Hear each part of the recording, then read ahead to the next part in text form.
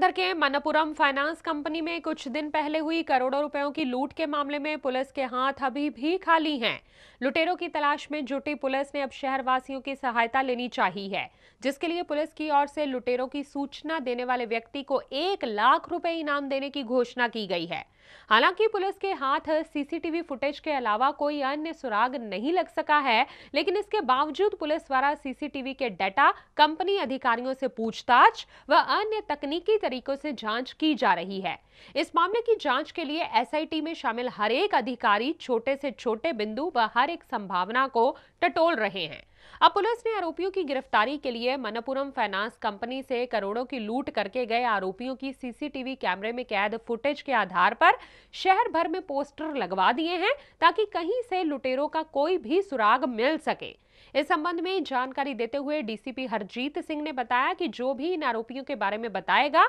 उन्हें एक लाख रुपए नकद इनाम दिया जाएगा ਇੱਥੇ ਜਿਹੜੀ ਅ, ਮੰਨਾਪੁਰਮ ਗੋਲਡ ਫਾਈਨੈਂਸ ਕੰਪਨੀ ਸੀਗੀ ਜਿਹਦੇ 'ਚ ਕਿ ਕੁਝ ਸ਼ੱਕੀ ਵਿਅਕਤੀ ਆ ਕੇ ਇਹਨਾਂ ਦਾ ਸੋਨਾ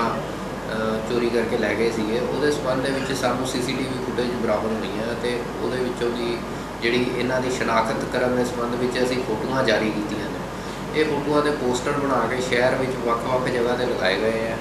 ਤੇ ਜਿਹੜਾ ਵੀ ਵਿਅਕਤੀ ਇਹਦੇ ਸਬੰਧ ਵਿੱਚ ਸਾਨੂੰ ਸਹੀ ਇਨਫੋਰਮੇਸ਼ਨ ਦਊਗਾ ਉਹਦੇ ਵਾਸਤੇ 1 ਲੱਖ ਰੁਪਏ ਦਾ ਇਨਾਮ ਵੀ ਰੱਖਿਆ ਗਿਆ ਹੈ।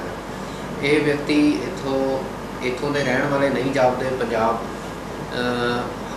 ਪੰਜਾਬ ਦੇ ਏਰੀਆ ਦੇ ਰਹਿਣ ਵਾਲੇ ਨਹੀਂ ਜਾਪਦੇ ਹੈਗੇ, ਬਾਹਰਲੇ ਜਾਪਦੇ ਹਨ ਤੇ ਇਹਦੇ ਸੰਬੰਧ ਵਿੱਚ ਸਾਡੇ ਵੱਲੋਂ ਵੱਖ-ਵੱਖ ਪਾਰਟੀਆਂ ਰੇਡ ਪਾਰਟੀਆਂ ਬਣਾਈਆਂ ਗਈਆਂ, ਜਿਹੜੀਆਂ ਕਿ ਇਹਨਾਂ ਨੂੰ ਫੜਨ ਵਾਸਤੇ ਪ੍ਰਯਾਸ ਕਰ ਰਹੀਆਂ ਹਨ। ਸਾਡੇ ਵੱਲੋਂ ਇਹਦੇ ਸੰਬੰਧ ਵਿੱਚ ਸ਼ਹਿਰ ਦੇ ਵਿੱਚ ਸਰਚ ਵੀ ਕੀਤੀ ਜਾ ਰਹੀ ਹੈ, ਜਿੱਥੇ ਕਿ ਸਾਨੂੰ ਸ਼ੱਕ ਹੈ ਕਿ ਇਹ ਵਿਅਕਤੀ ਪਹਿਲਾਂ ਆ ਕੇ ਇੱਥੇ ਰਹੇ ਹੋਣਗੇ ਉਹਦੇ ਸੰਬੰਧ ਵਿੱਚ ਲੋਕਾਂ ਤੋਂ ਪੁੱਛਗਿੱਛ ਵੀ ਕੀਤੀ ਜਾ ਰਹੀ ਹੈ ਤੇ ਇਹਨਾਂ ਦੀਆਂ ਫੋਟੋਆਂ ਲੋਕਾਂ ਨੂੰ ਦਿਖਾ ਕੇ ਪਤਾ ਲਗਾਇਆ ਜਾ ਰਿਹਾ ਹੈ ਕਿ ਇਹ ਵਿਅਕਤੀ ਕਿੱਥੋਂ ਆਏ ਨੇ। ਨਹੀਂ, ਉਹਨਾਂ ਦੇ ਸੀਸੀਟੀਵੀ ਕੈਮਰੇ 'ਚੋਂ ਸਿਰਫ ਇਹਨਾਂ ਦੇ ਹੁਲੀਏ ਅਤੇ ਸ਼ਕਲਾਂ ਦੇ ਬਾਰੇ ਜੀ ਸਾਨੂੰ ਪਤਾ ਚੱਲਿਆ ਤੇ ਉਹਦੇ ਵਿੱਚੋਂ ਫੋਟੋ ਡਿਵੈਲਪ ਕਰਾ ਕੇ ਅਸੀਂ ਪੋਸਟਰ ਛਪਵਾ ਕੇ ਸ਼ਹਿਰ 'ਚ ਵੱਖ-ਵੱਖ ਜਗ੍ਹਾ ਤੇ ਲਗਾ ਦਿੱਤੇ। ਇਹ ਮੋਟਰਸਾਈਕਲ ਤੇ ਆਏ ਸੀਗੇ। ਇੱਕ ਮੋਟਰਸਾਈਕਲ ਸੀ ਤੇ ਦੋ, ਅਹ ਐਕਟਿਵਾ ਸਕੂਟੀਜ਼ ਸੀਗੀਆਂ, ਇੱਕ ਕਾਲੇ ਰੰਗ ਦੀ ਤੇ ਇੱਕ ਸਫੇਦ। ਨਹੀਂ, ਉਹਦੇ ਬਾਰੇ ਵਿੱਚ ਖੋਜਬੀਨ ਕੀਤੀ ਜਾ ਰਹੀ ਹੈ ਤੇ ਕੋਸ਼ਿਸ਼ ਕੀਤੀ ਜਾ ਰਹੀ ਹੈ ਕਿ ਮੋਟਰਸਾਈਕਲ ਤੇ ਸਕੂਟੀਜ਼ ਨੂੰ ਵੀ ਟਰੇਸ ਕੀਤਾ ਜਾਵੇ, ਕਿਉਂਕਿ ਜ਼ਿਆਦਾ